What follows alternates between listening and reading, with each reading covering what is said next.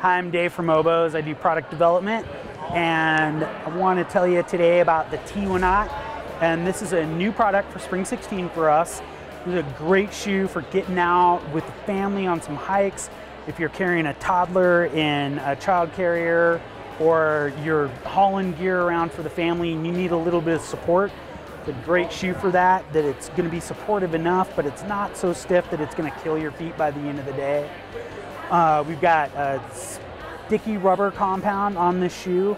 Uh, the lacing goes to the toe so you can get a really precise fit. So this is a great, comfortable, like medium to wide width shoe. Um, gives you some room to spread your toes out. Huge amount of arch support. Uh, we have an aftermarket quality insole that has a hard uh, durometer or hardness of EVA here, a little bit softer EVA here, so it doesn't twist as much, support your arch. Um,